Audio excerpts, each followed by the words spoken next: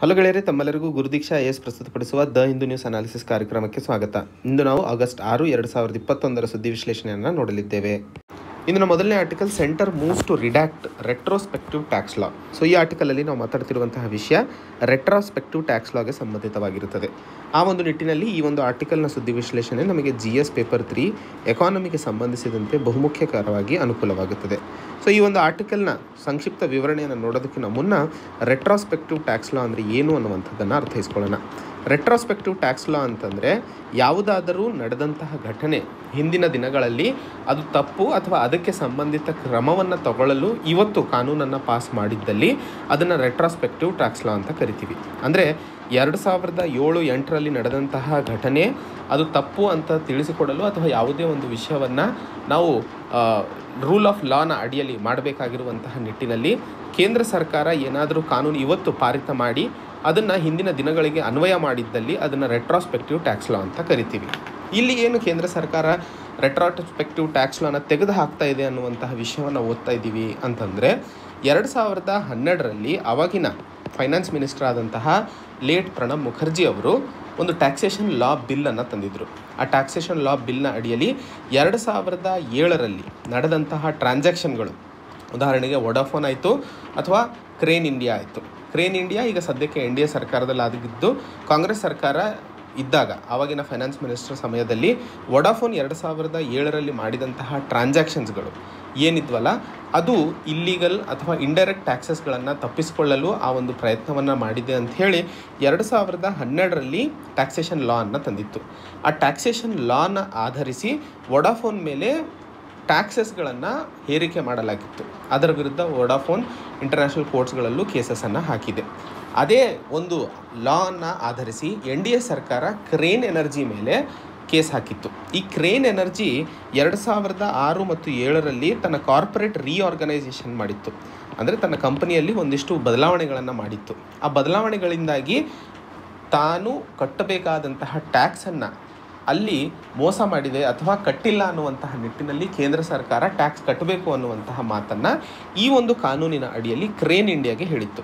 So, crane India ಅಂತ ಹೇಳಿ company. So, ಈ ಕಂಪನಿಗೆ ಹೇಳಿದ ನಂತರ ಈ ಒಂದು ಕಂಪನಿ ಪ್ಯಾರಿಸ್ ಕೋರ್ಟ್ನಲ್ಲಿ ಇದರ ವಿರುದ್ಧ ತನ್ನ ಧ್ವನಿಯನ್ನು ಎತ್ತಿತ್ತು. ಆವಾಗ ಅಲ್ಲಿನ ಪ್ಯಾರಿಸ್ ಕೋರ್ಟು ಭಾರತೀಯ ಪ್ರಾಪರ್ಟೀಸ್ ಏನು ಪ್ಯಾರಿಸಲ್ಲಿದ್ದಾವೆ, ಸುಮಾರು ಇಪ್ಪತ್ತ್ಮೂರು ಮಿಲಿಯನ್ ಡಾಲರ್ಸಿಗೆ ಸಂಬಂಧಿಸಿದಂತೆ ಅದನ್ನು ಕ್ರೇನ್ ಇಂಡಿಯಾ ಜಪ್ತಿ ಮಾಡ್ಕೋಬಹುದು. ಏನು ಕ್ರಮ ಭಾರತ ಸರ್ಕಾರ ಕೈಗೊಂಡಿದೆ, ಅದು ತಪ್ಪಿದೆ. ರೆಟ್ರಾಸ್ಪೆಕ್ಟಿವ್ ಟ್ಯಾಕ್ಸ್ ಲಾ ಅನ್ವಯವಾಗೋ ಹಾಗಿಲ್ಲ.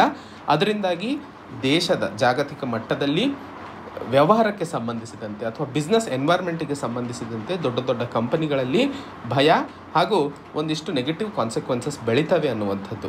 ಆ ಒಂದು ನಿಟ್ಟಿನಲ್ಲಿ ಕೇಂದ್ರ ಸರ್ಕಾರ ಇವಾಗ ಈ ರೆಟ್ರಾಸ್ಪೆಕ್ಟಿವ್ ಲಾ ಅಥವಾ ರೆಟ್ರಾಸ್ಪೆಕ್ಟಿವ್ ಟ್ಯಾಕ್ಸೇಷನ್ ಅಮೆಂಡ್ಮೆಂಟ್ ಬಿಲ್ಲನ್ನು ಲೋಕಸಭೆಯಲ್ಲಿ ಪಾರಿತ ಮಾಡಿದೆ. ಇದರಿಂದಾಗಿ ದೇಶದಲ್ಲಿ ಕಂಪನಿಗಳಿಗೆ ಅಥವಾ ಇನ್ವೆಸ್ಟರ್ಸ್ಗಳಿಗೆ ಏನೆಲ್ಲ ಅಳಕು ಹಾಗೂ ಭಯ ಇದ್ವು ಅದನ್ನು ತೆಗೆದುಹಾಕುವಂತಹ ನಿಟ್ಟಿನಲ್ಲಿ ಈ ಒಂದು ಕ್ರಮವನ್ನು ಕೈಗೊಂಡಿರುವಂಥದ್ದು. ಸೊ ಈ ಒಂದು ಬದಲಾವಣೆಯಿಂದಾಗಿ ದೇಶ ಇನ್ನೂ ಹೆಚ್ಚಿನ ಇನ್ವೆಸ್ಟರ್ಸ್ಗಳನ್ನು ಅಟ್ರಾಕ್ಟ್ ಮಾಡುವಂತಹ ಸಾಧ್ಯತೆಗಳು ಜಾಸ್ತಿ ಆಗ್ತವೆ. ಇನ್ವೆಸ್ಟ್ಮೆಂಟ್ಸ್ ಜಾಸ್ತಿ ಆದಾಗ ಆಟೋಮೆಟಿಕಲಿ ಆರ್ಥಿಕ ವ್ಯವಸ್ಥೆ ಮುನ್ಸಾಗಲು ಸಾಧ್ಯವಾಗುತ್ತದೆ ಅನ್ನುವಂತಹ ನಿಟ್ಟಿನಲ್ಲಿ ಈ ಒಂದು ಆರ್ಟಿಕಲನ್ನು ನಾವು ಅರ್ಥೈಸ್ಕೊಳ್ಳಬೇಕಾಗಿರುವಂಥದ್ದು. ಇಂದಿನ ಮುಂದಿನ article earth observation satellite to be launched on August ಹನ್ನೆರಡು. ಸೊ ಇಲ್ಲಿ ಇಸ್ರೋ ಒಂದು ಮಾಹಿತಿಯನ್ನು ಕೊಡ್ತಾ ಇದೆ. ಭೂಮಿಯನ್ನು ಅಬ್ಸರ್ವ್ ಮಾಡುವಂತಹ ಒಂದು ಸ್ಯಾಟಲೈಟನ್ನು ಆಗಸ್ಟ್ ಹನ್ನೆರಡರಂದು ಲಾಂಚ್ ಮಾಡ್ತಾ ಇರುವಂತಹ ನಿಟ್ಟಿನಲ್ಲಿ ಈ ಒಂದು ಮಾಹಿತಿ ನಮಗೆ G S paper three science and technology ಅದರಲ್ಲೂ ಸ್ಪೇಸಿಗೆ ಸಂಬಂಧಿಸಿದಂತೆ ಬಹುಮುಖ್ಯಕರವಾಗಿ ಅನುಕೂಲವಾಗುತ್ತದೆ ಅನ್ನುವಂಥದ್ದು. ಸೊ ಆ ಒಂದು ನಿಟ್ಟಿನಲ್ಲಿ ಏನು ಈ ಒಂದು ಸ್ಪೇಸ್ ಶಿಪ್ ಅಥವಾ ಸ್ಯಾಟಲೈಟ್ ಏನು ಹೋಗ್ತಾ ಇದೆ, ಇದರ ಹೆಸರು ಏನು ಅನ್ನುವಂಥದ್ದು E O S zero three ಅನ್ನುವಂಥದ್ದು. ಈ ಒಂದು ಸ್ಯಾಟಲೈಟನ್ನು ಜಿಯೋ ಸಿಂಕ್ರನಸ್ ಆರ್ಬಿಟಲ್ಲಿ ಇಡಲಾಗುತ್ತದೆ ಅನ್ನುವಂಥದ್ದು ಮೊದಲನೇದು. ಒಂದಿಷ್ಟು ಫ್ಯಾಕ್ಟ್ಸ್ ಇವು ಬಹಳ ಇಂಪಾರ್ಟೆಂಟು ಪ್ರಿಲಿಮ್ಸಲ್ಲಿ ಇವೇ ಪ್ರಶ್ನೆಗಳನ್ನು ಕೇಳುವಂಥದ್ದು. ಇದು ಅರ್ತ್ ಅಬ್ಸರ್ವೇಷನ್ ಸ್ಯಾಟಲೈಟ್ ಆಗಿರುವಂಥದ್ದು. ಹಾಗೂ ಇದನ್ನು ಜಿಯೋ ಸಿಂಕ್ರನಸ್ ಆರ್ಬಿಟಲ್ಲಿ ಇಡಲಾಗುತ್ತದೆ. ನಾವೊಂದಿಷ್ಟು ಆರ್ಬಿಟ್ಸ್ ಬಗ್ಗೆನೂ ತಮಗೆ ಸಂಪೂರ್ಣ ಮಾಹಿತಿಯನ್ನು ಈ ಒಂದು ಆರ್ಟಿಕಲಲ್ಲಿ ಕೊಡಲು ಪ್ರಯತ್ನಿಸ್ತೇನೆ. ಬಟ್ ಈ ಆರ್ಟಿಕಲಿಂದಾಗಿ ನಮಗೆ ಎಕ್ಸಾಮಿನೇಷನ್ಗೆ ಏನೆಲ್ಲ ಇಂಪಾರ್ಟೆಂಟ್ ಇದೆ ಅನ್ನುವಂತಹ ಫ್ಯಾಕ್ಟ್ಸನ್ನು ಇಲ್ಲಿ ನೆನ್ಪಿಟ್ಕೋಬೇಕಾಗಿರುವಂಥದ್ದು.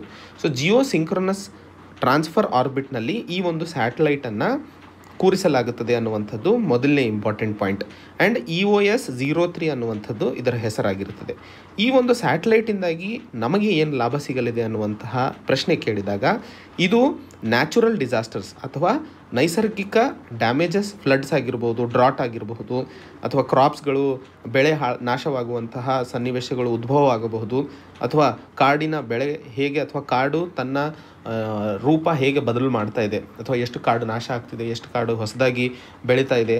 ಸೊ ಈ ರೀತಿಯ ವಿಷಯಗಳನ್ನು ನಾವು ಅಬ್ಸರ್ವ್ ಮಾಡುವಂತಹ ನಿಟ್ಟಿನಲ್ಲಿ ಅನುಕೂಲವಾಗುತ್ತದೆ. ಸೊ ಅದಕ್ಕೆ ನಾವು ಇದನ್ನು ಅಬ್ಸರ್ವೇಷನ್ ಸ್ಯಾಟಲೈಟ್ ಅಂತ ಕರಿತಾ ಇರುವಂಥದ್ದು.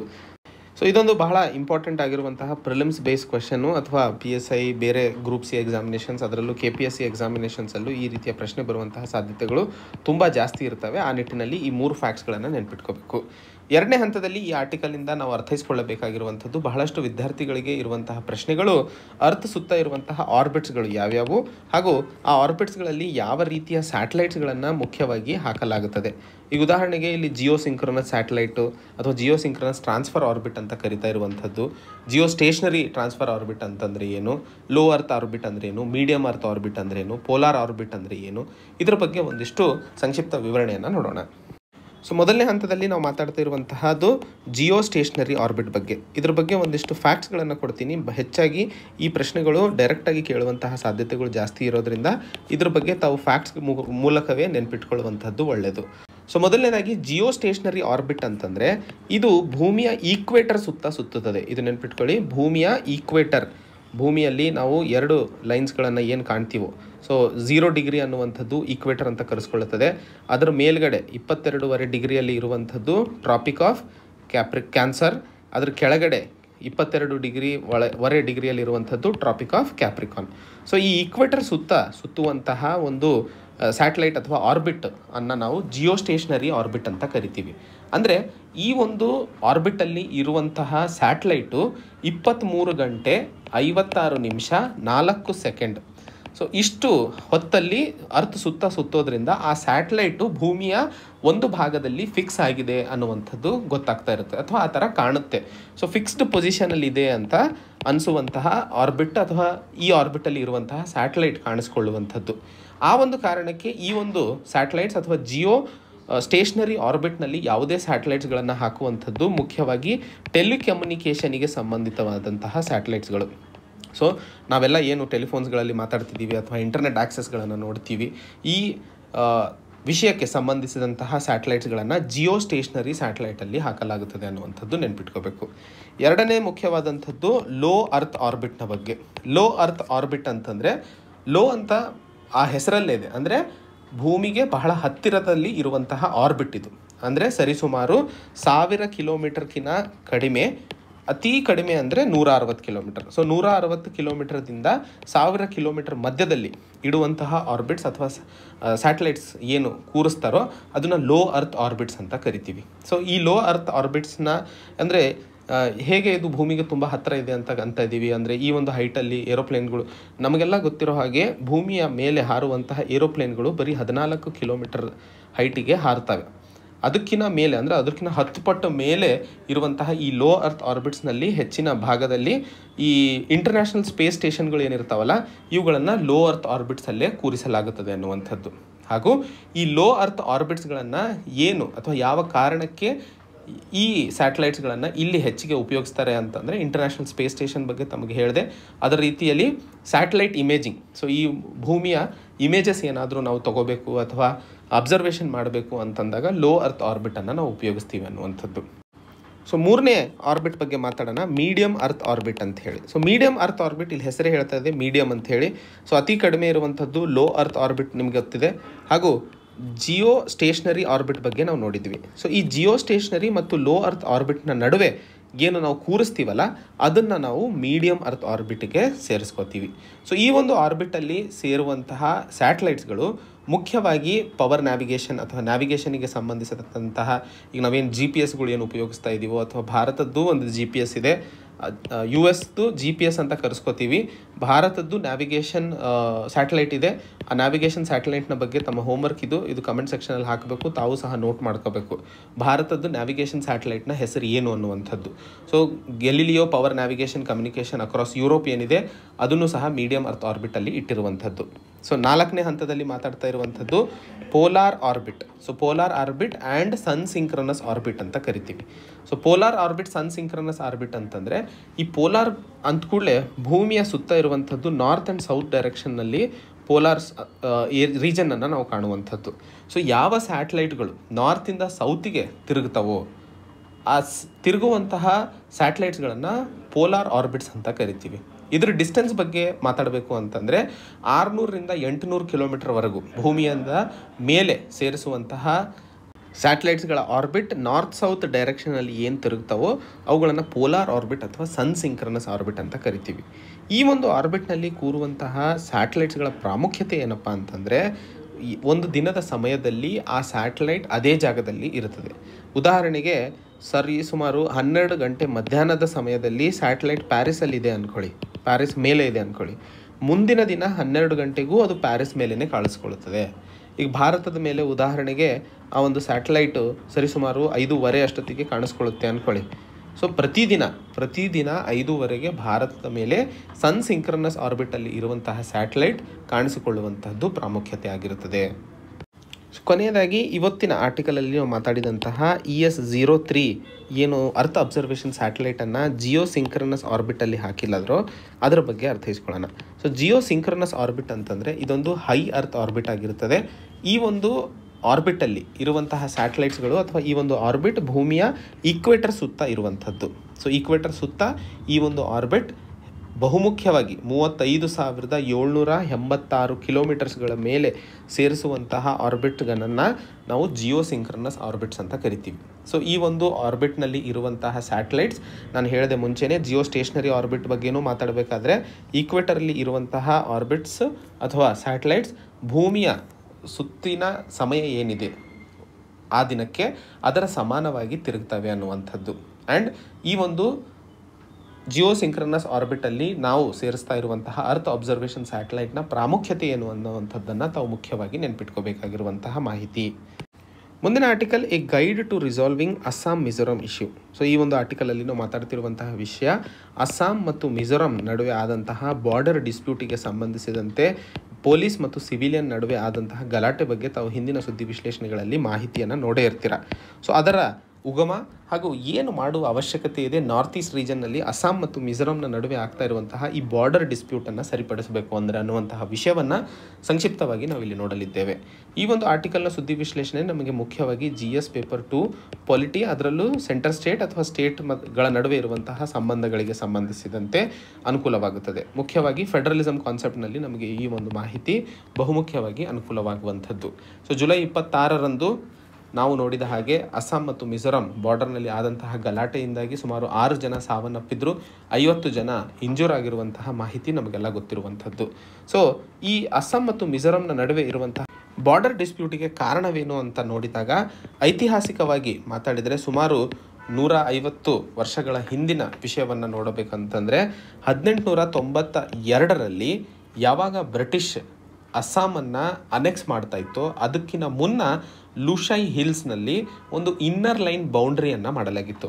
ಅಂದರೆ ಆ ಇನ್ನರ್ ಲೈನ್ ಬೌಂಡ್ರಿಯನ್ನು ಹದಿನೆಂಟುನೂರ ಎಪ್ಪತ್ತೈದರಲ್ಲಿ ಮಾಡಿತ್ತು. ಬ್ರಿಟಿಷು ಅಸ್ಸಾಮನ್ನು ಅನೆಕ್ಸ್ ಮಾಡ್ಕೊಂಡಿದ್ದು, ಅಥವಾ ತನ್ನ ಕಾಲೋನಿಯಾಗಿ ಸೇರಿಸ್ಕೊಂಡಿದ್ದು ಹದಿನೆಂಟುನೂರ ತೊಂಬತ್ತೆರಡರಲ್ಲಿ ಅರ್ಥ ಮಾಡ್ಕೊಳ್ಳಿ. ಅದಕ್ಕೆ ಮುನ್ನನೇ ಲೂಶೈ ಹಿಲ್ಸ್ ಅಂತ ಹೇಳಿ. ಸೊ ಈ ಲೂಶೈ ಹಿಲ್ಸ್ ಏನಿತ್ತಲ್ಲ ಇದು ಹದಿನೆಂಟು ನೂರ ಎಪ್ಪತ್ತೈದರಲ್ಲಿ ಈ ಭಾಗವನ್ನು ಇನ್ನರ್ ಲೈನ್ ಬೌಂಡ್ರಿ ಅನ್ನುವಂತಹ ಒಂದು ರೀಜನಿಗೆ ಸೇರಿಸಲಾಗಿತ್ತು. ಅಸ್ಸಾಂನ ಕಾಚಾರ್ ಡಿಸ್ಟ್ರಿಕ್ನಲ್ಲಿ ಅರ್ಥ ಆಯ್ತಲ್ಲ? ಲೂಶೈ ಹಿಲ್ಸ್ ಇವತ್ತು ಡಿಸ್ಪ್ಯೂಟಲ್ಲಿ ಇರುವಂತಹ ಜಾಗ ಅಸ್ಸಾಂ ಮತ್ತು ಮಿಜೋರಾಂನ ನಡುವೆ. ಅದು ಒಂದು ಕಾಚಾರ್ ಡಿಸ್ಟ್ರಿಕ್ಟ್ ಅಂತ ಇದೆ. ಈ ಕಾಚಾರ್ ಡಿಸ್ಟ್ರಿಕ್ಟ್ನಲ್ಲಿ ಲೂಶೈ ಹಿಲ್ಸ್ಗಳು ಬರ್ತವೆ. ಈ ಲೂಶೈ ಹಿಲ್ಸು ಹದಿನೆಂಟುನೂರ ತೊಂಬತ್ತೆರಡರಲ್ಲಿ ಬಿಸ್ಟ್ ಬ್ರಿಟಿಷ್ ಕಾಲೋನಿ ಆಗೋಕ್ಕಿಂತ ಮುನ್ನ ಇಲ್ಲಿ ಒಂದು ಇನ್ನರ್ ಲೈನ್ ಬೌಂಡ್ರಿಯನ್ನು ಡಿಫೈನ್ ಮಾಡಲಾಗಿತ್ತು. ಹಾಗೂ ನಮಗೆಲ್ಲ ಗೊತ್ತಿರೋ ಹಾಗೆ ಬ್ರಿಟಿಷ್ ಕಾಲೋನಿಗಳನ್ನು ಮಾಡಬೇಕಾದ್ರೆ ಅಥವಾ ಭಾರತ ಹಾಗೂ ಪಾಕಿಸ್ತಾನದ ನಡುವೆ ವಿಭಜನೆ ಮಾಡಬೇಕಾದ್ರೆ ಯಾವುದೇ ಒಂದು ಲಾಜಿಕ್ ಇಲ್ಲದೆ ಸುಮ್ಮನೆ ಒಂದು ಗೆರೆ ಎಳ್ಕೊಂಡು ಹೋಗಿದ್ರು. ಅದೇ ರೀತಿಯಲ್ಲಿ ಈ ಭಾಗದಲ್ಲೂ ಬೌಂಡ್ರಿಯನ್ನು ಡಿಫೈನ್ ಮಾಡಬೇಕಾದ್ರೆ ಆವಾಗ ಹೇಳಿರುವಂಥದ್ದು ಯಾವ್ಯಾವ ನೈಸರ್ಗಿಕ ಬೌಂಡ್ರೀಸ್ಗಳಿದ್ದಾವೆ ಉದಾಹರಣೆಗೆ ಗುಡ್ಡಗಾಡು ಆಯಿತು ಅಥವಾ ನದಿ ಹರಿಯುವಂಥದ್ದಾಯಿತು ಅಥವಾ ಕೆರೆ ಆಯಿತು ಅವುಗಳನ್ನು ಮಾರ್ಕರ್ ಆಗಿ ಅಥವಾ ಅದನ್ನೇ ಮಾರ್ಕ್ ಆಗಿ ಉಪಯೋಗಿಸಲಾಯಿತು. ಇಂಡಿಪೆಂಡೆಂಟ್ ಇಂಡಿಯಾ ಅಂದರೆ ಹತ್ತೊಂಬತ್ತು ನೂರ ನಲವತ್ತೇಳರ ನಂತರ ಮಿಜೋರಾಂ ಸರ್ಕಾರ ಮುಖ್ಯವಾಗಿ ಹತ್ತೊಂಬತ್ತು ನೂರ ಮೂವತ್ತು ಹತ್ತೊಂಬತ್ತು ನೂರ ಮೂವತ್ತ್ಮೂರರಲ್ಲಿ ಬೆಂಗಾಲ್ ಈಸ್ಟರ್ನ್ ಫ್ರಂಟಿಯರ್ ರೆಗ್ಯುಲೇಷನ್ ಹದಿನೆಂಟುನೂರ ಎಪ್ಪತ್ತ್ಮೂರರ ಅಡಿಯಲ್ಲಿ ಈ ಇನ್ನರ್ ಲೈನ್ ಪರ್ಮಿಟ್ನಲ್ಲಿ ಒಂದಿಷ್ಟು ಬದಲಾವಣೆಗಳನ್ನು ಮಾಡಲಾಗಿತ್ತು. ನೆನ್ಪಿಟ್ಕೊಳ್ಳಿ ಹದಿನೆಂಟುನೂರ ಎಪ್ಪತ್ತೈದರಲ್ಲಿ ಇನ್ನರ್ ಲೈನ್ ಪರ್ಮಿಟ್ ಜಾರಿಗೆ ಬಂತು. ಈ ಇನ್ನರ್ ಲೈನ್ ಪರ್ಮಿಟ್ನಲ್ಲಿ ಬೆಂಗಾಲ್ ಈಸ್ಟರ್ನ್ ಫ್ರಂಟಿಯರ್ ರೆಗ್ಯುಲೇಷನ್ ಹದಿನೆಂಟುನೂರ ಎಪ್ಪತ್ತ್ಮೂರರಲ್ಲಿ ತಂದಂತಹ ಕಾನೂನಿನ ಅಡಿಯಲ್ಲಿ ಹತ್ತೊಂಬತ್ತು ನೂರ ಮೂವತ್ತು ಮತ್ತು ಹತ್ತೊಂಬತ್ತು ನೂರ ಮೂವತ್ತ್ಮೂರರಲ್ಲಿ ಒಂದಿಷ್ಟು ಬಾರ್ಡರ್ಸ್ಗಳ ಬದಲಾವಣೆ ಆಯಿತು. ಬಟ್ ಮಿಜೋರಂ ಒಪ್ಕೊತಾ ಇರುವಂಥದ್ದು ಇದರ ಮುಂಚೆ, ಅಂದರೆ ಮುಂಚೆ ಏನು ಹದಿನೆಂಟುನೂರ ಎಪ್ಪತ್ತೈದರಲ್ಲಿ ಬಾರ್ಡರ್ ಡಿಫೈನ್ ಆಗಿತ್ತೋ ಅದನ್ನು ಎಕ್ಸೆಪ್ಟ್ ಮಾಡ್ತಾ ಇದೆಯಾ ಹೊರತು ತದನಂತರ ಬದಲಾವಣೆಗಳನ್ನು ಮಾಡಿರುವಂಥದ್ದು ಅಲ್ಲ. ಇವತ್ತು ಮುಖ್ಯವಾಗಿ ಅಸ್ಸಾಂ ಮತ್ತು ಮಿಜೋರಾಂನ ನಡುವೆ ಆಗ್ತಾ ಇರುವಂಥದ್ದು ಈ ಲೂಶೈ ಹಿಲ್ಸ್. ಮುಖ್ಯವಾಗಿ ಯಾರಿಗೆ ಸೇರಿತ್ತು ಅಸ್ಸಾಮಿಗೆ ಸೇರಿದ್ದ ಅಥವಾ ಮಿಜೋರಾಮಿಗೆ ಸೇರಿದ್ದ? ಆ್ಯಂಡ್ ಈ ಲೂಶೈ ಹಿಲ್ಸ್ನ ಬಗ್ಗೆ ಯಾಕೆ ಇಷ್ಟೊಂದು ಡಿಸ್ಪ್ಯೂಟ್ ಇದೆ ಅಂತಂದಾಗ ಇದಕ್ಕೆ ಮುಖ್ಯ ಕಾರಣ ಹೇಳ್ತಾ ಇರುವಂಥದ್ದು ಈ ಭಾಗದಲ್ಲಿ ಇರುವಂತಹ ರಿಸೋರ್ಸಸ್ ಸಿ ಯಾವಾಗಲೂ ಯಾವುದೇ ಮರುಭೂಮಿಯನ್ನು ಹೋಗಿ ಯಾರು ಜಗಳ ಆಡಲ್ಲ, ಇದು ನನ್ನ ಭೂಮಿ, ಇದು ನನಗೆ ಬೇಕು ಅಂತ ಹೇಳಿ. ಯಾಕಂದರೆ ಅಲ್ಲಿ ಬೆಳೆಯೋಕೆ ಏನೂ ಇರಲ್ಲ, ಅಲ್ಲಿಂದ ಲಾಭವೂ ಏನು ಪಡೆಯೋಕ್ಕೆ ಸಾಧ್ಯವಾಗೋದಿಲ್ಲ. ಆ ನಿಟ್ಟಿನಲ್ಲಿ ನೋಡಿದಾಗ ಇವತ್ತು ಏನು ಅಸ್ಸಾಂ ಸರ್ಕಾರ, ಅಸ್ ರಿಸರ್ವ್ ಫಾರೆಸ್ಟನ್ನು ಕಾಪಾಡೋದಕ್ಕೋಸ್ಕರ ಅಂತ ಹೇಳ್ತಾ ಇದೆಯೋ, ಇನ್ನೊಂದು ಕಡೆ ಮಿಜೋರಾಂ ಸರ್ಕಾರ, ಇದು ನಮ್ಮ ಕಲ್ಚರ್ ಹಾಗೂ ಎಥ್ನಿಕ್ ಗ್ರೂಪ್ಸ್ಗಳಿಗೆ ಸಂಬಂಧಿಸಿದಂತಹ ಮಾಹಿತಿ, ಅವರ ಒಂದು ರ ಸಂರಕ್ಷಣೆಗೆ ಈ ಭೂಮಿ ಬಹಳ ಇಂಪಾರ್ಟೆಂಟ್ ಆಗಿರುತ್ತದೆ. ಸೊ ಅದಕ್ಕೆ ಇದು ನಮಗೆ ಬೇಕು ಅಂತ ಹೇಳಿ ಎರ ಇಬ್ಬರ ಮಧ್ಯೆ ನಡೀತಿರುವಂತಹ ಡಿಸ್ಪ್ಯೂಟ್ ಈ ಡಿಸ್ಪ್ಯೂಟನ್ನು ನಾವು ಎರಡು ರೀತಿಯಲ್ಲೂ ನೋಡಬಹುದು. ಒಂದು ರೀತಿಯಲ್ಲಿ ಸ್ಟೇಟ್ ಅಪ್ರೋಚ್ ಅಂತ ಕರಿತೀವಿ. ಇನ್ನೊಂದು ಪೀಪಲ್ ಸೆಂಟ್ರಿಕ್ ಅಪ್ರೋಚ್ ಅಂತ ಹೇಳಿ.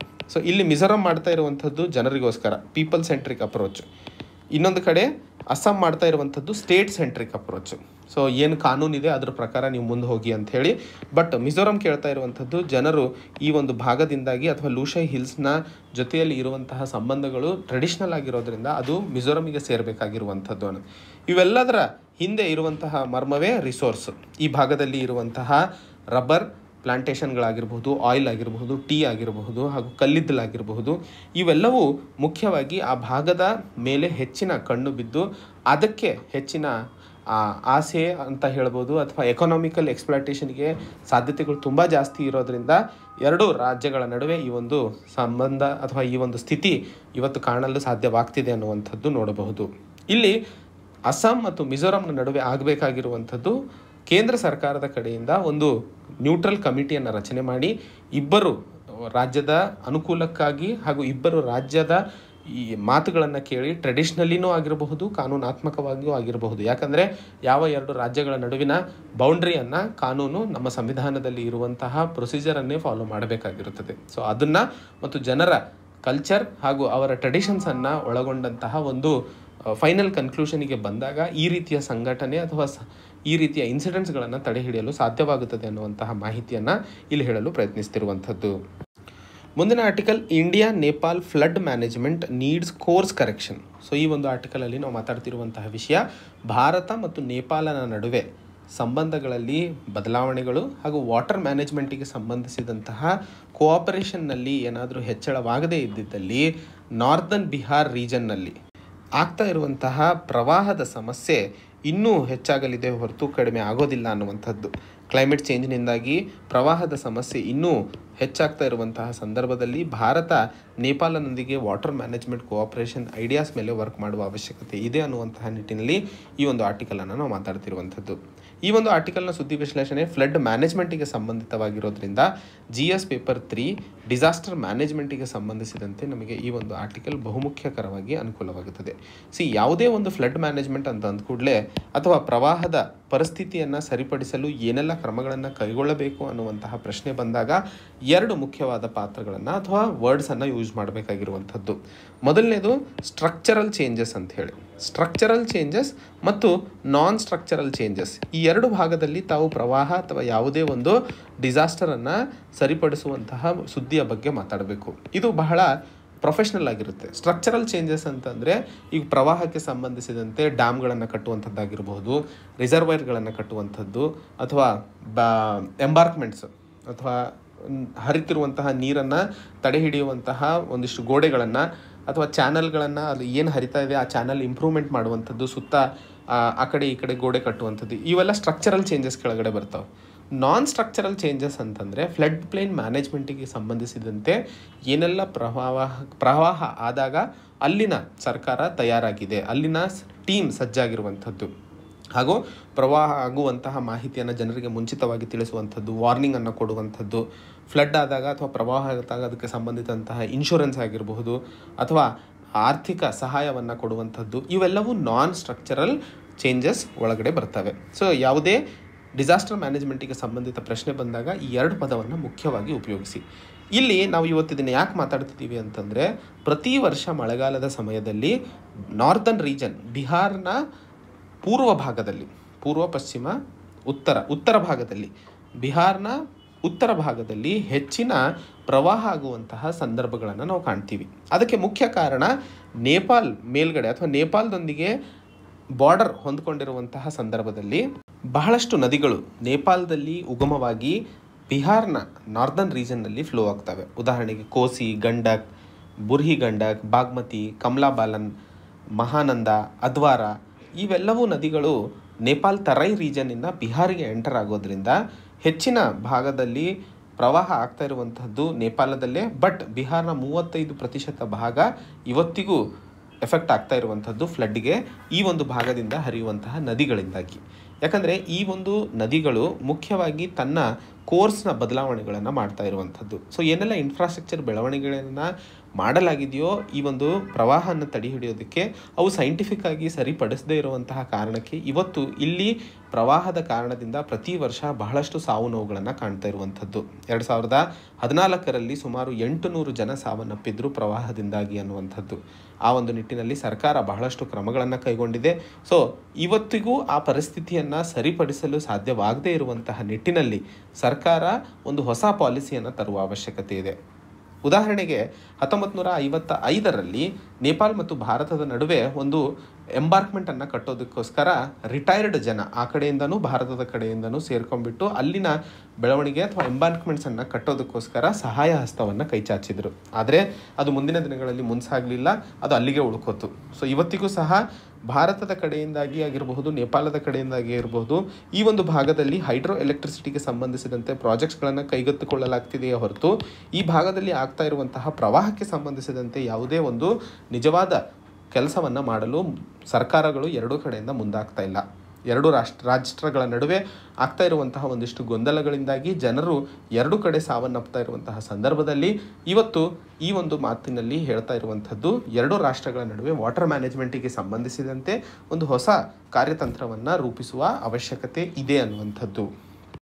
ನಮ್ಮ ಮುಂದಿನ article not always fair game so ಈ ಒಂದು ಆರ್ಟಿಕಲಲ್ಲಿ ನಾವು ಮಾತಾಡ್ತಿರುವಂತಹ ವಿಷಯ, ತಮಿಳುನಾಡು ಸರ್ಕಾರ ಅಲ್ಲಿ ನಡೀತಾ ಇರುವಂತಹ ರಮ್ಮಿ ಮತ್ತು ಪೋಕರ್ ಗೇಮ್ಸ್ಗಳನ್ನು ರಾಜ್ಯದಲ್ಲಿ ಸ್ಥಗಿತಪಡಿಸಬೇಕು ಅನ್ನುವಂತಹ ನಿಟ್ಟಿನಲ್ಲಿ ಒಂದು ಕಾನೂನನ್ನು ಜಾರಿಗೆ ತಂದಿತ್ತು. ಸೊ, ರಮ್ಮಿ ಮತ್ತು ಪೋಕರ್ ತಮಗೆಲ್ಲ ಗೊತ್ತಿರೋ ಹಾಗೆ ಎಷ್ಟೊಂದು ಆ್ಯಪ್ಗಳ ಪ್ರಮೋಷನ್ ಆಗಿರಬಹುದು, ಅಡ್ವರ್ಟೈಸ್ಮೆಂಟ್ಸ್ಗಳನ್ನು ಬರ್ತಾ ಇರುವಂಥದ್ದಾಗಿರಬಹುದು.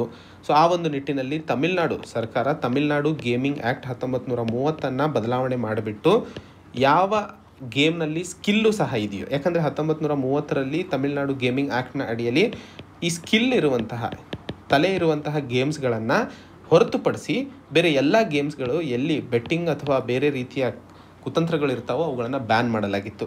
ಇದನ್ನು ಈಗ ಅಮೆಂಡ್ ಮಾಡಿಬಿಟ್ಟು ರಮ್ಮಿ ಆಯಿತು ಅಥವಾ ಪೋಕರ್ ಈ ಎರಡು ಗೇಮ್ಗಳನ್ನು ಬ್ಯಾನ್ ಮಾಡುವಂತಹ ನಿಟ್ಟಿನಲ್ಲಿ ಈ ಒಂದು ಕಾನೂನನ್ನು ಬದಲಾವಣೆ ಮಾಡಿತ್ತು. ಬಟ್ ಅಲ್ಲಿನ ಹೈಕೋರ್ಟ್, ಮದ್ರಾಸ್ ಹೈಕೋರ್ಟ್ ಹೇಳ್ತಾ ಇರುವಂಥದ್ದು ಈ ಒಂದು ಕ್ರಮ ಅನ್ರೀಸನಬಲ್ ಆಗಿದೆ. ಅಂದರೆ ಇವತ್ತು ಏನು ಜನರಲ್ಲಿ ಈ ರಮ್ಮಿ ಅಥವಾ ಪೋಕರ್ ಗೇಮ್ಸ್ ಆಡೋದ್ರಿಂದ ಅಡಿಕ್ಷನ್ ಜಾಸ್ತಿ ಆಗ್ತಾ ಇದೆ. ಅಥವಾ ಇದರಿಂದಾಗಿ ಜನರು ಹೆಚ್ಚಿನ ಹಣವನ್ನು ಕಳ್ಕೊತಿದ್ದಾರೆ ಅನ್ನುವಂಥದ್ದು ನಿಮಗೆ ಗೊತ್ತಾಗ್ತಿದೆಯೋ, ಅಲ್ಲಿ ತಾವು ರೆಗ್ಯುಲೇಟ್ ಮಾಡುವಂತಹ ಪ್ರಯತ್ನಗಳನ್ನು ಪಡಬೇಕೇ ಹೊರತು ಜನರನ್ನು ಹತೋಟಿಗೆ ತಗೊಳ್ಳುವಂಥದ್ದು ಅಲ್ಲ. ಯಾಕಂದರೆ ಈ ಒಂದು ಕಾನೂನಿಂದಾಗಿ ಜನರನ್ನು ತಾವು ಏನು ಮಾಡಬೇಕು, ಏನು ಮಾಡಬಾರ್ದು ಅನ್ನುವಂತಹ ಸ್ವೇಚ್ಛೆಯನ್ನು ಕೊಡುವಂಥದ್ದು ಕಡ್ದು ಹಾಕ್ತಿದ್ದೀರ ಸೊ ಜನರು ಸ್ವೇಚ್ಛೆಯಿಂದ ಇರಬೇಕು, ಲಿಬರ್ಟಿಯಿಂದ ಫ್ರೀಡಮಿಂದ ಅವರಿಗೆ ಏನು ಸರಿ, ತಪ್ಪು ಅನ್ನುವಂಥದ್ದು ಅರ್ಥೈಸಿ ಅವರು ಯಾವುದು ಮಾಡಬೇಕು, ಯಾವುದು ಮಾಡಬಾರ್ದು ಅನ್ನುವಂತಹ ಸ್ವೇಚ್ಛೆ ಹಾಗೂ ಫ್ರೀಡಮನ್ನು ಕೊಡಬೇಕು. ಆ ಒಂದು ಮಾತಿನಿಂದಾಗಿ ಮದ್ರಾಸ್ ಹೈಕೋರ್ಟ್ ಹೇಳ್ತಾ ಇರುವಂಥದ್ದು ಇಲ್ಲಿ ಪೆಟರ್ನಲಿಸ್ಟಿಕ್ ಅಂದರೆ ಇಂಗ್ಲೀಷಲ್ಲಿ ಮೆಟರ್ನಲಿಸ್ಟಿಕ್ ಪ್ರೆಟರ್ನಲಿಸ್ಟಿಕ್ ಇದೆ. ಮನೆಯಲ್ಲಿ ಅಪ್ಪಂದರ ಮಾತೆ ಫೈನಲ್ ಆಗಿರುತ್ತೆ. ಹಾಗೆ ಮೆಟರ್ನಲಿಸ್ಟಿಕ್ ಫ್ಯಾಮಿಲಿಯಲ್ಲಿ ಮುಖ್ಯವಾಗಿ ಹೆಣ್ಣು ಮಕ್ಕಳು ತುಂಬ ಡಾಮಿನೆಂಟ್ ಆಗಿರ್ತಾರೆ. ತಾಯಿಯ ಇಂಪಾರ್ಟೆನ್ಸ್ ತುಂಬ ಜಾಸ್ತಿ ಇರುತ್ತೆ. ಬಟ್ ಭಾರತದಲ್ಲಿ ನಾವು ಕಾಣುವಂತಹ ಸಮಾಜದಲ್ಲಿ ಪೆಟ್ರಲಿಸ್ಟಿಕ್ ಸೊಸೈಟಿಗಳು ತುಂಬ ಜಾಸ್ತಿ ನೋಡ್ತೀವಿ. ಸೊ ಇವತ್ತು ತಮಿಳುನಾಡು ಸರ್ಕಾರ ತಮಿಳುನಾಡು ಜನರ ಮೇಲೆ ಪೆಟರ್ನಲಿಸ್ಟಿಕ್ ಕ್ಯಾರೆಕ್ಟರನ್ನು ತೋರಿಸುವಂತಹ ಪ್ರಯತ್ನವನ್ನು ಮಾಡ್ತಾ ಇದೆ. ಸೊ ನೀನು ಇದೇ ಮಾಡಬೇಕು, ಇದು ಮಾಡೋ ಹಾಗಿಲ್ಲ ಅನ್ನುವಂಥದ್ದು. ಅದು ಬಿಟ್ಟು ಆ ಪೆಟ್ರಲಿಸ್ಟಿಕ್ ಕ್ಯಾರೆಕ್ಟರ್ನ ಬದಿಗಿಟ್ಟು ಜನರಿಗೆ ರೆಗ್ಯುಲೇಟ್ ಮಾಡಿಬಿಟ್ಟು ಈ ರೀತಿಯ ಏನು ಗೇಮ್ಸ್ ಇದ್ದಾವೆ ಇದನ್ನು ರೆಗ್ಯುಲೇಷನಿಗೆ ಒಳಪಡಿಸಿ ಗೇಮ್ಸನ್ನು ಜನ ಏನು ಮಾಡಬೇಕು ಮಾಡಬಾರ್ದು ಅನ್ನುವಂಥದ್ದು ಹೇಳಬೇಡಿ. ಆ್ಯಂಡ್ ಈ ಗೇಮ್ನ ಅಡಿಯಲ್ಲಿ ಸ್ಕಿಲ್ಸಿಗೆ ಏನು ಎಕ್ಸೆಪ್ಷನ್ ಕೊಡಲಾಗಿತ್ತು ಅಟ್ಲೀಸ್ಟ್ ಆ ಸ್ಕಿಲ್ನ ಬೆಳವಣಿಗೆಗೋಸ್ಕರ ಜನರಿಗೆ ಅವಕಾಶವನ್ನು ಮಾಡಿಕೊಡುವಂತಹ ಕಡೆ ಸರ್ಕಾರ ಮಾ, ಕೆಲಸವನ್ನು ಮಾಡಬೇಕೇ ಹೊರತು ಅದನ್ನು ತಡೆ ಹಿಡಿಯೋದಕ್ಕಲ್ಲ ಅನ್ನುವಂತಹ ಮಾತನ್ನು ಈ ಆರ್ಟಿಕಲಲ್ಲಿ ಹೇಳಲು ಪ್ರಯತ್ನಿಸ್ತಿರುವಂಥದ್ದು. ಮುಂದಿನ article why government schools not the first choice ಅಂತ ಹೇಳಿ. ಸೊ ಈ ಒಂದು ಆರ್ಟಿಕಲಲ್ಲಿ ನಾವು ಮಾತಾಡ್ತಿರುವಂತಹ ವಿಷಯ, ಯಾಕೆ ಮಕ್ಕಳಾಗಿರಬಹುದು ಹಾಗೂ ಪೇರೆಂಟ್ಸ್ ಆಗಿರಬಹುದು ಗವರ್ಮೆಂಟ್ ಶಾಲೆಗಳನ್ನು ಮೊದಲನೇ ಆದ್ಯತೆಯನ್ನು ಕೊಡೋದಿಲ್ಲ ಅನ್ನುವಂಥದ್ದು. ಇವತ್ತು ಈ ಒಂದು ಆರ್ಟಿಕಲನ್ನು ಮಾತಾಡ್ತಿರುವಂತಹ ವಿಷಯ ಎರಡು ರೂಪದಲ್ಲಿ ಮಾತಾಡ್ತಾ ಇರುವಂಥದ್ದು ಮೊದಲನೇದು, ಪಟನಾ ಹೈಕೋರ್ಟು ಎಷ್ಟು ಜನ ಐ ಎ ಎಸ್ ಮತ್ತು ಐ ಪಿ ಎಸ್ ಆಫೀಸರ್ಗಳು ತಮ್ಮ ಮಕ್ಕಳನ್ನು ಸರ್ಕಾರಿ ಶಾಲೆಗೆ ಕಳಿಸ್ತಾ ಇದ್ದೀರಾ ಅನ್ನುವಂತಹ ಪ್ರಶ್ನೆಯನ್ನು ಕೇಳಿರುವಂಥದ್ದು. ಹಾಗೂ ಕೋವಿಡ್ ನೈನ್ಟೀನ್ ಸಂದರ್ಭದಿಂದಾಗಿ ಬಹಳಷ್ಟು ಗವರ್ಮೆಂಟ್ ಶಾಲೆಗಳಲ್ಲಿ ಹೆಚ್ಚಿನ ಅಡ್ಮಿಷನ್ಸ್ಗಳನ್ನು ನೋಡ್ತಾ ಇರುವಂಥದ್ದು. ಯಾಕಂದರೆ ಮಧ್ಯಮ ವರ್ಗ ಹಾಗೂ ಕೆಳಮಧ್ಯಮ ವರ್ಗದಲ್ಲಿ ಇರುವಂತಹ ಜನರಲ್ಲಿ ಆದಂತಹ ಆರ್ಥಿಕ ಹಿಂಜರಿತದಿಂದಾಗಿ ಹೆಚ್ಚಿನ ಮಕ್ಕಳನ್ನು ಶಾಲೆಗೆ ಸೇರಿಸ್ತಾ ಇರುವಂಥದ್ದು. ಆ ಸಂದರ್ಭದಲ್ಲಿ ಇವತ್ತು ಗವರ್ಮೆಂಟ್ ಶಾಲೆಗಳಲ್ಲಿ ಆಗ್ತಾ ಇರುವಂತಹ ಶಿಕ್ಷಣ ವ್ಯವಸ್ಥೆಗೆ ಸಂಬಂಧಿಸಿದಂತೆ ಒಂದಿಷ್ಟು ವಿಷಯಗಳನ್ನು ನಾವಿಲ್ಲಿ ಅರ್ಥೈಸ್ಕೊಳ್ಳಬೇಕಾಗಿರುವಂಥದ್ದು. ಈ ಒಂದು ಆರ್ಟಿಕಲ್ನ ಸುದ್ದಿ ವಿಶ್ಲೇಷಣೆ ನಮಗೆ ಜಿ ಎಸ್ ಪೇಪರ್ ಟು ಎಜುಕೇಷನಿಗೆ ಸಂಬಂಧಿಸಿದಂತೆ ಬಹುಮುಖ್ಯಕರವಾಗಿ ಅನುಕೂಲವಾಗುತ್ತದೆ ಅನ್ನುವಂತಹ ಮಾಹಿತಿ. ಸೊ, ಮೊದಲನೇದಾಗಿ ಯಾಕೆ ಗೌರ್ಮೆಂಟ್ ಶಾಲೆಗಳಲ್ಲಿ ನಾವು ಕಡಿಮೆ ಅಡ್ಮಿಷನ್ಸನ್ನು ಕಾಣ್ತೀವಿ ಅಂತಂದರೆ ಮೊದಲನೇದಾಗಿ ಸರಿಯಾಗಿ ಕುಡಿಯುವ ನೀರು ಇನ್ಫ್ರಾಸ್ಟ್ರಕ್ಚರ್ ಇನ್ಫ್ರಾಸ್ಟ್ರಕ್ಚರಿಗೆ ಸಂಬಂಧಿಸಿದಂತೆ ಗೌರ್ಮೆಂಟ್ ಶಾಲೆಗಳು ಹೆಚ್ಚಿನ ಕೆಲಸವನ್ನು ಮಾಡುವ ಅವಶ್ಯಕತೆ ಇದೆ. ಸೊ ಸರಿಯಾದ ಕುಡಿಯುವ ನೀರಾಗಿರಬಹುದು ಟಾಯ್ಲೆಟ್ಸ್ಗಳಾಗಿರಬಹುದು ಶಾಲೆ ಕಾಂಪೌಂಡ್ ಆಗಿರಬಹುದು ಕ್ಲಾಸ್ ರೂಮ್ಗಳಾಗಿರಬಹುದು ಲೈಟು ಫ್ಯಾನು ಬೋರ್ಡ್ ಆಗಿರಬಹುದು. ಇವೆಲ್ಲವೂ ಇನ್ಫ್ರಾಸ್ಟ್ರಕ್ಚರ್ ಒಳಗಡೆ ಬರುವಂಥದ್ದು. ಸೊ ಇನ್ಫ್ರಾಸ್ಟ್ರಕ್ಚರ್ ಇವತ್ತಿಗೂ ಬಹಳಷ್ಟು ಶಾಲೆಗಳಲ್ಲಿ ಹಿಂದೆ ಉಳ್ಕೊಂಡಿರುವಂಥದ್ದು ಆ್ಯಂಡ್ ಯಾಕೆ ಸರ್ಕಾರ ಇಷ್ಟೊಂದು ಬಜೆಟನ್ನು ಕೊಡ್ತಾ ಇರಬೇಕಾದರೂ ಸಹ ಇದು ಸರಿಪಡಿಸಲು ಸಾಧ್ಯವಾಗ್ತಿಲ್ಲ ಅನ್ನುವಂಥದ್ದು ಅತಿ ದೊಡ್ಡ ಪ್ರಶ್ನೆಯಾಗಿ ಉಳ್ಕೊಂಡಿದೆ. ಎರಡನೇ ಹಂತದಲ್ಲಿ ಇನ್ಫ್ರಾಸ್ಟ್ರಕ್ಚರ್ ನೆಕ್ಸ್ಟ್ ಬರುವಂಥದ್ದು ಕ್ವಾಲಿಟಿ ಆಫ್ ಎಜುಕೇಷನ್ ಈ ಒಂದು ಶಾಲೆಗಳಲ್ಲಿ ಹೆಚ್ಚಿನ ಶಿಕ್ಷಕರು ಕ್ವಾಲಿಫೈಡ್ ಆಗಿ ಎಕ್ಸಾಮ್ ಬರೆದು ಪಾಸಾಗಿ ಶಿಕ್ಷಕರಾಗಿ ಅಟೆಂಡ್ ಆದರೂ ಸಹ ಇರುವಂತಹ ಶಿಕ್ಷಕರ ಸಂಖ್ಯೆ ಕಡಿಮೆ ಆಗಿರುವಂಥದ್ದು. ಬಹಳಷ್ಟು ರಾಜ್ಯಗಳಲ್ಲಿ ಇವತ್ತಿಗೂ ಶಿಕ್ಷಕರ ಸಂಖ್ಯೆ ಕಡಿಮೆ ಇರುವಂತಹ ಕಾರಣದಿಂದಾಗಿ ಒಬ್ಬರೇ ಶಿಕ್ಷಕರು ಎರಡು ಮೂರು ಸಬ್ಜೆಕ್ಟ್ಸ್ಗಳನ್ನು ಪಾಠ ಮಾಡುವಂಥದ್ದಾಗಿರಬಹುದು ಅಥವಾ ಯಾವ ಒಂದು ಪ್ರಾಪರ್ ಟೈಮ್ ಟೇಬಲ್ ಡಿಸಿಪ್ಲಿನನ್ನು ಫಾಲೋ ಮಾಡದೇ ಇರುವಂತಹ ಕಾರಣಗಳಿಂದಾಗಿ ಇವತ್ತಿಗೂ ಗೌರ್ಮೆಂಟ್ ಶಾಲೆಗಳ ಬಗ್ಗೆ ತಂದೆ ತಾಯಿಯರನ್ನು, ತಂದೆ ತಾಯಿಯರಲ್ಲಿ ಒಂದಿಷ್ಟು ಅಳುಕು ಇರುವಂಥದ್ದು. ಹಾಗೆ ಬಹಳಷ್ಟು ಗೌರ್ಮೆಂಟ್ ಶಾಲೆಗಳು ಕನ್ನಡ ಮಾಧ್ಯಮ ಶಾಲೆಗಳಾಗಿರೋದ್ರಿಂದ ಇಂಗ್ಲೀಷ್ ಅನ್ನುವಂಥದ್ದು ತಂದೆ ತಾಯಿಯರಿಗೆ ಮಕ್ಕಳನ್ನು ಎಲ್ಲಿಗೋ ಒಯ್ಯುವಂತಹ ಒಂದು ಲ್ಯಾಂಗ್ವೇಜ್ ಆಗಿ ಹೊಂದ್ ಮುಂದೆ ಬಂದಿರುವಂಥದ್ದು. ಆದರೆ ನ್ಯಾಷನಲ್ ಎಜುಕೇಷನ್ ಪಾಲಿಸಿ ಎರಡು ಸಾವಿರದ ಇಪ್ಪತ್ತರಲ್ಲಿ ಮಾತೃಭಾಷೆಗೆ ಪ್ರೊಫೆಷ್ನಲ್ ಕೋರ್ಸಸನ್ನು ಸಹ ಇಂಟ್ರೊಡ್ಯೂಸ್ ಮಾಡ್ತಾ ಇರೋದ್ರಿಂದ ಮಕ್ಕಳಲ್ಲಿ ಮಾತೃಭಾಷೆಯಲ್ಲಿ ಓದುವಂತಹ ವಿದ್ಯಾರ್ಥಿಗಳ ಬ್ರೈನ್ ಡೆವಲಪ್ಮೆಂಟ್ ಆಗಿರಬಹುದು, ಆಲೋಚನೆ ಶಕ್ತಿ ಆಗಿರಬಹುದು ಇಮ್ಯಾಜಿನೇಷನ್ ಕ್ರಿಯೇಟಿವಿಟಿ ಆಗಿರಬಹುದು, ಅವೆಲ್ಲ ಬಹಳ ಬೆಳೀತಾವೆ ಅನ್ನುವಂತಹ ನಿಟ್ಟಿನಲ್ಲಿ ಮಾತೃಭಾಷೆಯಲ್ಲಿ ಶಿಕ್ಷಣ ಬಹಳ ಇಂಪಾರ್ಟೆಂಟ್ ಆಗಿರ್ತದೆ. ಬಟ್ ಅವರಿಗೆ ಮುಂದೆ ಹೋಗುವಂತಹ ಒಂದಿಷ್ಟು ಅವಕಾಶಗಳು ಇಲ್ಲದೆ ಇರುವಂತಹ ಕಾರಣಕ್ಕೆ ಆಂಗ್ಲ ಮಾಧ್ಯಮದಲ್ಲೇ ವಿದ್ಯಾರ್ಥಿಗಳು ಇಷ್ಟ ಆಗಲಿ ಆಗದೇ ಇರಲಿ ಮುಂದೆ ಹೋಗಬೇಕಾಗಿತ್ತು. ಸೊ ಹೀಗೆ ಈ ಮೂರು ಮುಖ್ಯವಾದ ಕಾರಣಗಳನ್ನು ಇಲ್ಲಿ ಲೇಖಕರು ಹೇಳಲು ಪ್ರಯತ್ನಿಸ್ತಿರುವಂಥದ್ದು. ಸರ್ಕಾರಿ ಶಾಲೆಯಲ್ಲೂ ಕೇಂದ್ರೀಯ ವಿದ್ಯಾಲಯ ಶಾಲೆಗಳಾಗಿರಬಹುದು, ಜವಾಹರ್ ನವೋದಯ ವಿದ್ಯಾಲಯ ಶಾಲೆಗಳಾಗಿರಬಹುದು, ಸೈನಿಕ್ ಸ್ಕೂಲ್ಗಳಾಗಿರಬಹುದು ಅಥವಾ ರಾಜ್ಯ ಸರ್ಕಾರ ತಂದಿರುವಂತಹ ಎಷ್ಟೋ ರೆಸಿಡೆನ್ಷಿಯಲ್ ಸ್ಕೂಲ್ ಆಗಿರಬಹುದು, ಇವೆಲ್ಲ ಸಕ್ಸಸ್ಫುಲ್ ಆಗೋದಕ್ಕೆ ಕಾರಣ ಏನು? ಆರ್ಗನೈಸ್ಡ್ ಆಗಿದ್ದಾವೆ. ಸೊ ಆರ್ಗನೈಸ್ಡ್ ಆಗೋವರೆಗೂ ಇನ್ಫ್ರಾಸ್ಟ್ರಕ್ಚರಿಗೆ ಸಂಬಂಧಿಸಿದಂತೆ ಕ್ವಾಲಿಟಿ ಆಫ್ ಎಜುಕೇಷನಿಗೆ ಸಂಬಂಧಿಸಿದಂತೆ ಹಾಗೂ ಅಲ್ಲಿ ನಡೀತಿರುವಂತಹ ಕೆಲಸದಲ್ಲಿ ಏನು ನಡೀತಾ ಇದ್ದಾವೆ ಅದಕ್ಕೆ ಸಂಬಂಧಿಸಿದಂತೆ ಎಲ್ಲಿವರೆಗೂ ಆರ್ಗನೈಸ್ಡ್ ಆಗಲ್ವೋ ಅಲ್ಲಿವರೆಗೂ ಗೌರ್ಮೆಂಟ್ ಶಾಲೆಗಳು ಪ್ರೈವೇಟ್ ಆಗಿರಬಹುದು ಅಥವಾ ಬೇರೆ ಏಡೆಡ್ ಕಾಲೇಜಸ್ಗಳ ಜೊತೆಯಲ್ಲಿ ಹೊಡೆದಾಡಲು ಸಾಧ್ಯವಾಗೋದಿಲ್ಲ. ಪ್ರೈವೇಟ್ ಕಾಲೇಜಸ್ ಬ್ರ್ಯಾಂಡನ್ನು ತೋರಿಸ್ಕೊಂಡ್ಬಿಟ್ಟು ತನ್ನ ಇನ್ಫ್ರಾಸ್ಟ್ರಕ್ಚರ್ ಆಗಿರಬಹುದು ಡಿಸಿಪ್ಲಿನ್ ಆಗಿರಬಹುದು ಇಂಗ್ಲೀಷಲ್ಲಿ ಮಾತಾಡೋದಾಗಿರ್ಬೋದು ಈ ರೀತಿಯ ಒಂದು ಆಡಂಬರವನ್ನು ತೋರಿಸ್ಬಿಟ್ಟು ಮಕ್ಕಳನ್ನು ಅಟ್ರ್ಯಾಕ್ಟ್ ಮಾಡುವಂಥದ್ದು, ಮುಖ್ಯವಾಗಿ ಸಕ್ಸಸ್ಫುಲ್ ಆಗ್ತಾ ಇರುವಂಥದ್ದು ಕೋಆರ್ಡಿನೇಷನ್ ಆ್ಯಂಡ್ ಡಿಸಿಪ್ಲಿನ್ ಸೊ ಈ ಕೋಆರ್ಡಿನೇಷನ್ ಆ್ಯಂಡ್ ಡಿಸಿಪ್ಲಿನನ್ನು ಗವರ್ಮೆಂಟ್ ಶಾಲೆಯಲ್ಲಿ ತಂದಾಗ ನಾವು ಸಹ ಇದರಿಂದಾಗಿ ಲಾಭವನ್ನು ಪಡೆಯುವಂತಹ ಸಾಧ್ಯತೆಗಳು ಜಾಸ್ತಿ ಆಗ್ತವೆ ಅನ್ನುವಂತಹ ಮಾತನ್ನು ಇಲ್ಲಿ ಲೇಖಕರು ಹೇಳ್ತಾ ಇರುವಂಥದ್ದು. ಇದು ಇವತ್ತಿನ ಸುದ್ದಿ ವಿಶ್ಲೇಷಣೆಗಳೇ ಮತ್ತೆ ಹೊಸ ಸಂಚಿಕೆಯೊಂದಿಗೆ ಭೇಟಿಯಾಗೋಣ. ಅಲ್ಲಿಯವರೆಗೆ ಜೈ ಹಿಂದ್, ಜೈ ಕರ್ನಾಟಕ.